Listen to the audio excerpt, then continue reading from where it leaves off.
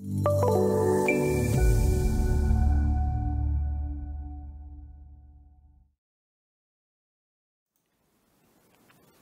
this video, we will talk about using Revit families in Open Buildings Designer to create catalog items using the Content Creator tool. We can import Revit families from the Backstage menu where we select Import, Exchange File Types, RFA. After we select the file which we would like to import, we can see that it is placed at the origin of our file. Before we save this file, we can get rid of these lines which are part of this Revit family file. All we have to do is select the element and use the drop element function.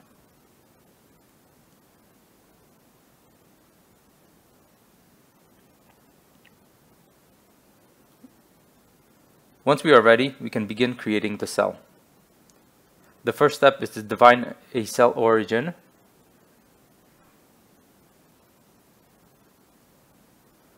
Once our cell origin is defined, we need to place a fence around it, and then we can create the cell.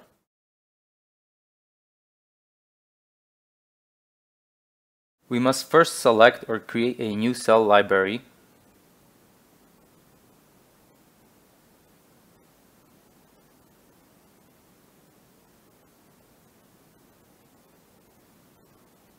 Then we may create a new cell in that cell library. The elements within the selected fence area are added to the cell.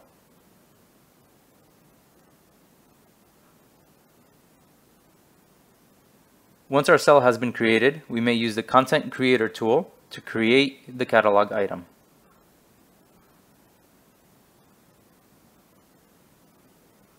we must choose where we would like to store this item. We can save it at the organization level, the workspace level, or the workset level. Next, we choose the discipline as well as the category. This determines which tool must be selected to place the item we are creating. I'll choose fixtures in this case. Next, we must choose the cell we have created and then give the catalog item a name.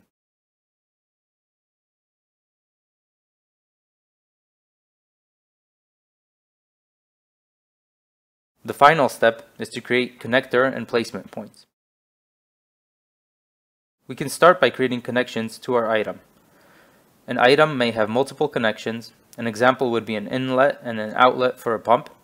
We select the location of the connection and then the direction.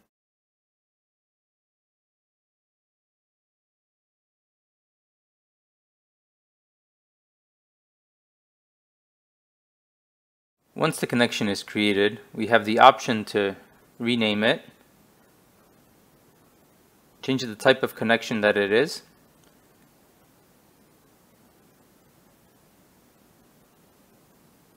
change the connection diameter, I'll be changing it to 12 millimeters, and finally change the connection length. When attaching pipes to this connection, their diameter should automatically adjust to correspond to match this diameter. Once our connections are set up correctly, we can also add a placement point. I will add a point in space located at the bottom of our element.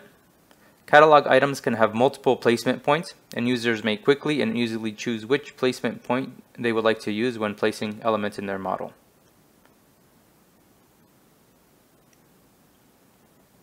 After we are sure that our catalog item has both connections as well as at least one placement point, we may click Finish to confirm. Once we click OK, the catalog item is saved at the specified level and is ready to be used. Let's run a quick test of the catalog item we created.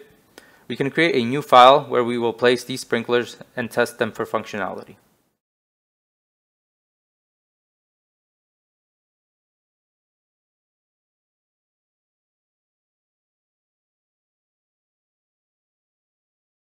In the new file, I will attach an architectural model of a building lobby to provide us with some level of context for design.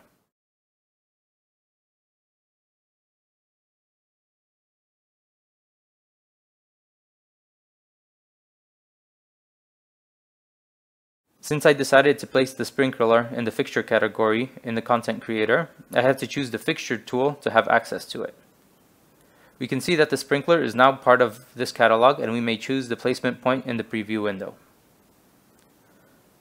All we have to do now is place the content in our model and specify its orientation.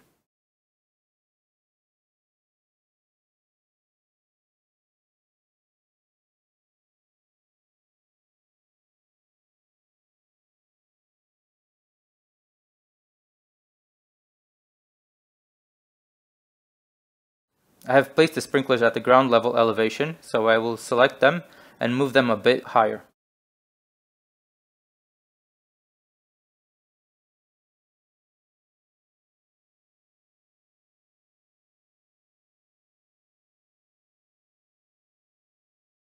Next, I will place a pipe in our model, which we will use to connect our sprinklers to.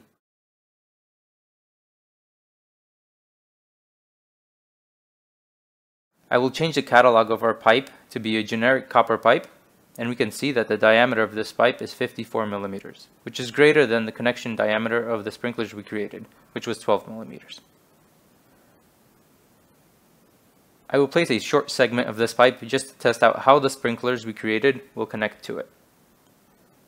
The pipe was also placed at the ground level, so I must first move it up to be above the sprinklers we placed in the model.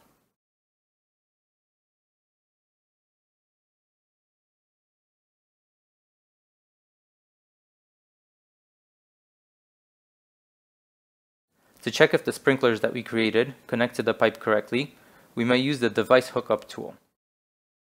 We first select the sprinkler, then the pipe. A small preview is shown where we may determine the location of the connection, and by left clicking we confirm the placement location. A connection is automatically created between the sprinkler and pipe with the appropriate diameter. Lastly, if we select the pipe tool, we can see that the diameter of the pipe matches the connection to an existing pipe. However, if we hover our mouse over the connection of the sprinkler we created, the diameter of the pipe is automatically adjusted to match the catalog item.